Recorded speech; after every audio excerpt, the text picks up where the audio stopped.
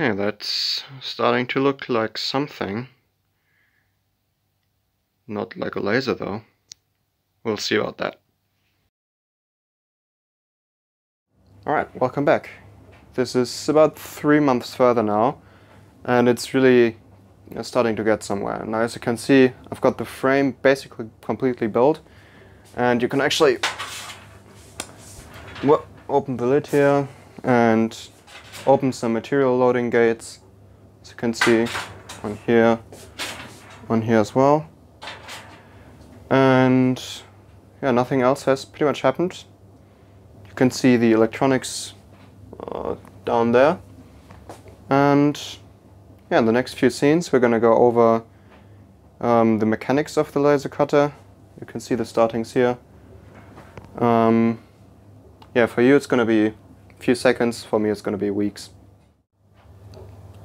Right, now as you can see, most of the frame is built uh, with these profiles here, with these aluminium profiles and these kind of corner brackets.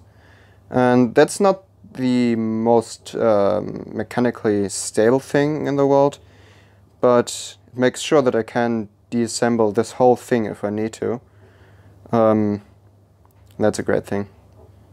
And other than that, I've got these slots all over the machine and I basically can fasten anything to these slots. As you can see here, I'm making use of this right here. Uh, so that's a great thing about these aluminum profiles. Another good example of this is um, this hinge here. Because of the way this is made, it's not really a big deal whether I put the hinge here or here or here. Basically can decide or change it later on if I need to. Okay, so another thing we're going to do in this episode on building the frame is the mechanics of a table. So I think you've seen this uh, in the last kind of mini episode. And, well, we're just going to repeat that four times. And then we can actually mount the table.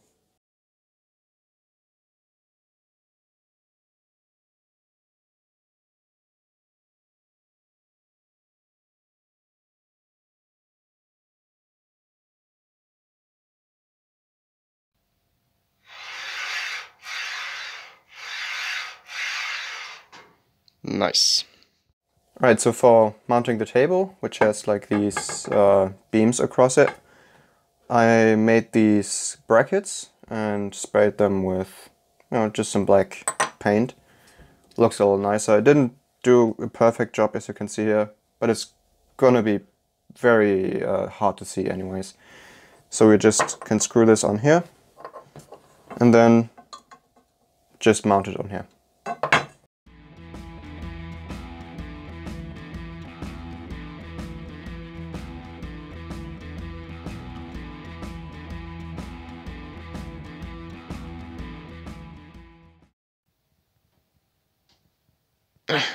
One, two, three, four.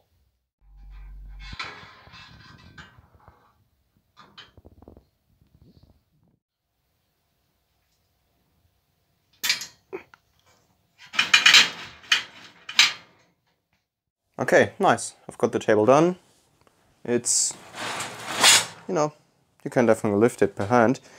But as you can see, it's really, or as you can hear, maybe, it's not really, uh, these rods aren't really parallel. So it's not running great.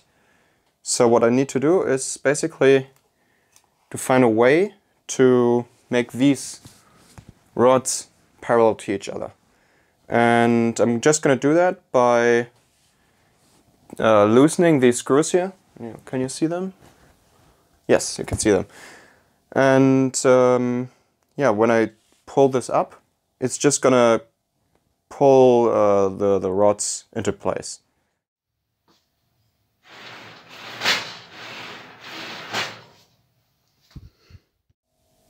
Okay, so maybe I should explain what I just did there. Um, so I built this little, or set up this little analogy. If you imagine this is the um, anchoring point where the rods are fixed. And these are the other precision rods. And this is basically one beam of the table, which can actually move. And as you probably can see, these definitely are not parallel. Now this is uh, about 50 centimeters and this is about 60. And if we want to have them parallel, we can just draw this. It's going to be not so smooth because it's not precision stuff here. But if you uh, push this along here, will, like this, this will actually make them parallel. Well, just to test that, now it's 50 here and 50 here. And this is pretty much exactly what is happening in the, or has happened in the laser. Um, of course, it's not going to be like 10 centimeters of difference. It's going to be maybe more like a millimeter or two. But this is definitely a great way and a quick way to make rods like this parallel. And now we could just fix these into place and they would be parallel forever. Alright, so now that we have this thing fixed, we must find a way to fix these nuts onto the table. And, well, I think I'm just going to show you the way I came up with. Okay, so the way I'm going to do this is using these two parts. There's a 3D printed part and this is just a sheet metal. And you may be thinking, well, why didn't you just glue it? That's true, I could definitely glue it and it would definitely work, but I want to be able to actually uh, completely disassemble the whole thing, so I want to avoid gluing, uh, gluing at all costs. Right, so you can just put the nuts into this 3D printed part and then you know use a screw to uh, close this off. Just like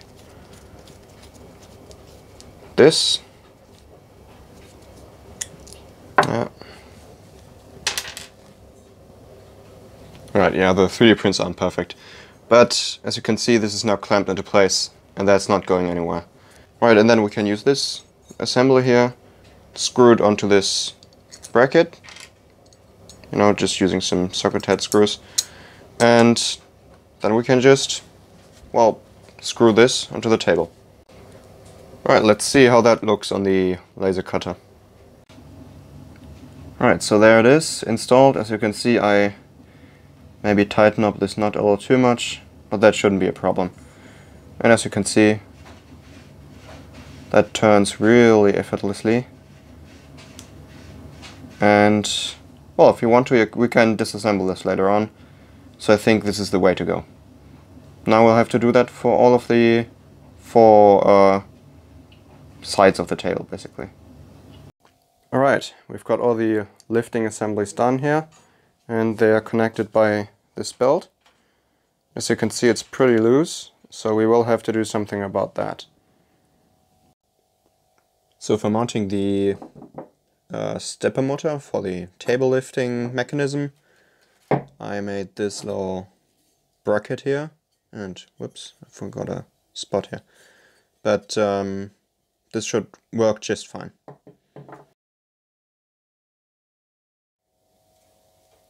Okay, so this is the kind of belt tensioning system that I came up with. You can just swivel that in here, fasten the whole thing, and the belt will run over this bearing here. Okay, so the belt tensioning mechanism basically is functioning. As you can see, we can rise and lower the table using this.